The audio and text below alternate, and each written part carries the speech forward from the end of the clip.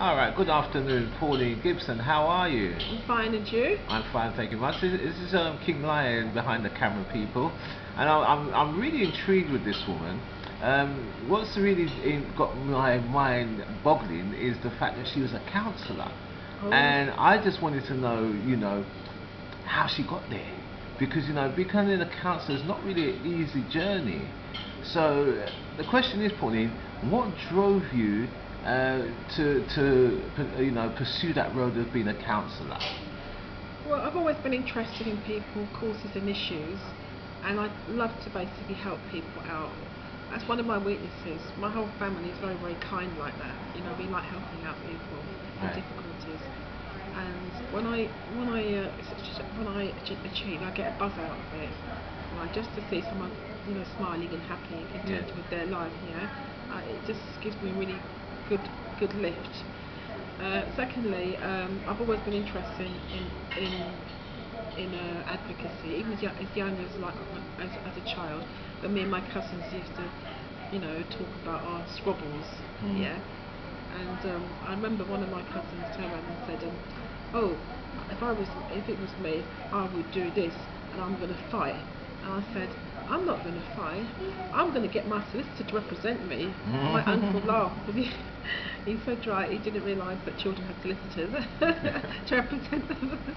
How old was you at the time? I was about five. Wow, amazing. Yeah, yeah, but um, yeah, I'd, I, I mean, even when I, when I was young, I tell you, I've never been in a, in a fight before with anybody, and you know, I always seem to know how to use my mouth to get myself out of it. Right. And usually, it, I don't know what I do, but it tends to like uh, kill off the, the tension, There is wisdom. You, Yeah. you you have wisdom, my dear. That's what it is. something like that. But um, I've always been interested in people, and uh, I suppose when I first became a councillor, well, like before when I was campaigning, the thing that drove me to, to get to that stage right is determination. I've got a very strong, determined gene. and Right. I get what I want.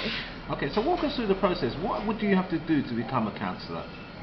Well, lots of things. You have to be interested in politics. You have to belong to a party. You have to uh, play, play your play your bit within the party. Do you mind me asking what party were you involved with at the time?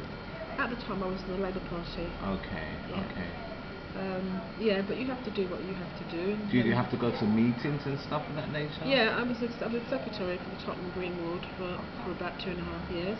Prior to becoming a councillor? Yeah, and Fantastic. then, then the position came around as, as uh, they, were, they were selecting, and I, I didn't really want to go for it. I wasn't interested in poli- politics. Having been in, involved with Bernie Grant, I didn't feel like I wanted to go back into it, and I thought, let me try. That's interesting. And I won. You know, I actually won uh, uh, the, right to stand as a candidate for Noel Park, and um, I campaigned for about a year with two other colleagues, Right. and um, I campaigned and campaigned, and there were times when Do you mind if I ask you a question?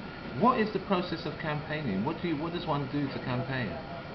just campaign, door knocking, engage the general members of the public, um, you know, just tell people what you're about, really. Okay. Um, but I think, as I was saying, going back to what I was saying, that Sorry. I felt that um, there are times when I look down the road, both particularly some parts of Wood Green, and where they have those long houses, long streets, 600 houses, and I, and I just couldn't go anymore because I was so tired.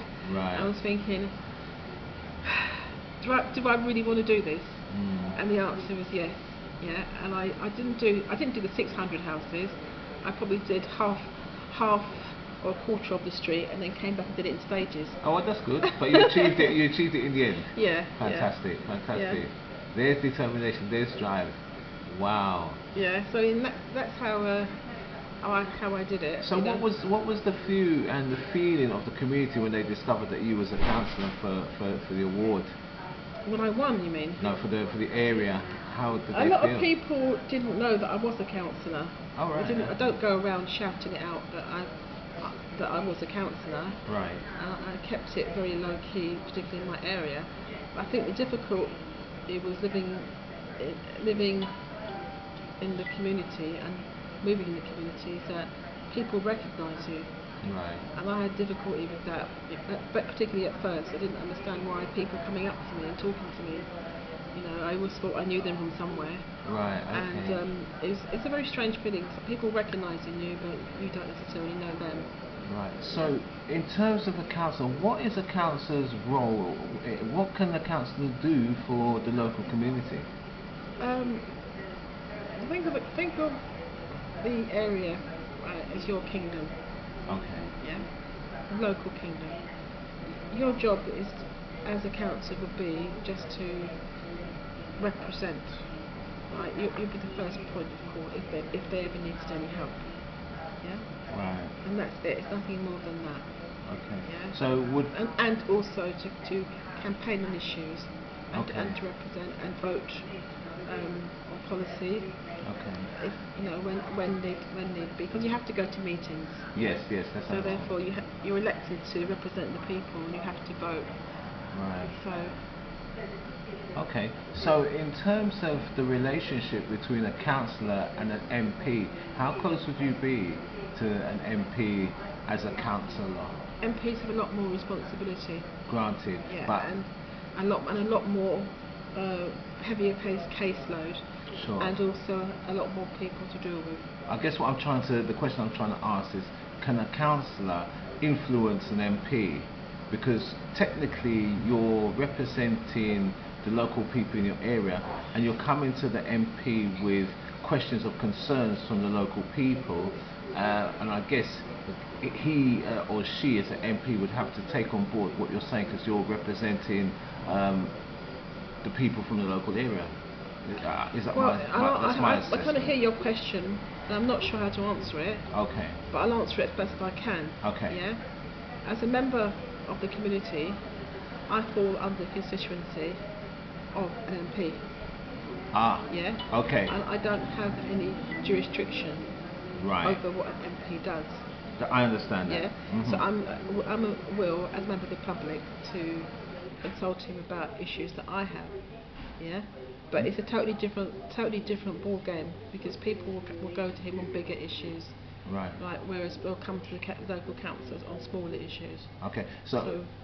So all right. that's, that's that is how I interpret that question. okay. Get forgive uh, correct me if I'm wrong, but that's how I see um, differentiate the two roles. There's a completely Sure. different role. Clear. An MP will sit in Parliament, yeah. That I understand. Yeah, and I will sit in the local chamber. Right. Okay. Yeah. Great. So let me just let me just for clarity's sake say, okay. Here's a solicitor. Here's a barrister. We know that the solicitor is basically the runner for the barrister. He will get all the cases. He'll get all the information, and he presents to the barrister, and the barrister will take it and present it. M- My question is: Is a councillor um, in that kind of um, situation, whereas the council will get information from the local people in terms of, i.e., their concerns, and then bring it to the MP and say, MP, um, this is the concerns of my local constituents. Uh, we need some action. We something needs to be done. How can we remedy it? Will he or she then take it on board and then maybe present it to Prime Minister's questions, for example? Right. Once once again, I am not qualified to answer everything Sure. you ask. I don't know every single uh, Sure. um, answer every single question. Okay. What I'm saying is right that an MP has has um, a role of their own, right? And it sounds as if that is, you're you're describing the role of, of an MP, yeah. Well, you see, and then there are times there are times when when I, I think MPs should be impartial, yeah, and not get involved with local issues, right? That's my point. That's yeah, why I'm asking. There, does a there are times that I, that's my personal belief, right? Right. This is But- why. Sorry, sorry to cut you, but this is why I, I, I, from my perspective, I see the councillor as the person that takes up the local issues and brings it to the attention of the MP for him to act um, overall on the on the on the on the basis of the community, because the councillor has actually done the legwork. I'm not saying it does or doesn't happen. I'm Sure. just saying that I've been done it. Okay, cool. That's, cool, that's, cool. that's, the, that's the best I can do. Alrighty, Yeah? alrighty, alrighty, cool. Thank you for that answer. It's alright. Okay, cool. okay, so are you still actively um, a councillor at the minute? I'm not. I'm not in office at present. No, I'm um, just an ordinary member of the, of the public. Okay. But I do a lot of community work. I have um, at present. I, I do casework as well when I'm ready. Okay. Define casework. What do you People mean? come through the problem and I've represented them. Okay. How, Yeah. how and where would you represent them? just se- se- basically uh, they come to me. Um, they give me the authority to act for them, and then I basically just put their, their, their point of view across to the council. Oh, And I've, fantastic. and I've done that quite a few times. I don't do it too often, right? But it, it, people who, who are in need desperately come to me. I'm willing to help them. Okay, what kind of issues, if you don't mind saying, what kind of issues do they bring to you?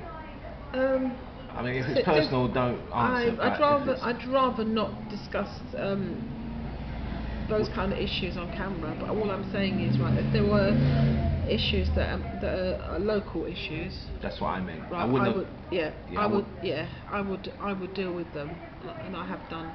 Sure. Yeah, I've done about, I would say I've done about five or, done about two or 3 Mhm. in, the, in the last, I don't know, five years. Okay, two, three, years, something like Success- Successful outcomes?